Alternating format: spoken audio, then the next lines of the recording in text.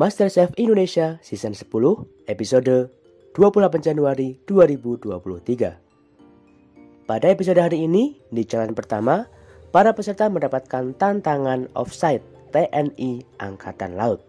Di mana kali ini para peserta ditantang untuk memasak di luar galeri dan secara tim challenge. Di mana mereka dibagi menjadi dua tim, tim merah dan juga tim biru. Dan tugas mereka adalah membuat hidangan untuk disajikan kepada panglima, perwira, serta para prajurit TNI Angkatan Laut.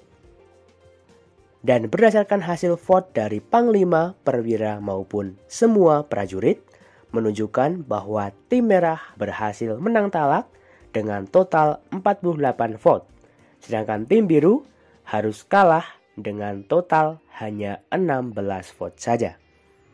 Sebagai pemenang, tim merah mendapatkan hadiah topi dari Panglima langsung, serta otomatis bebas dari pressure test dan lolos ke babak selanjutnya. Sedangkan tim biru harus kembali berjuang di babak pressure test.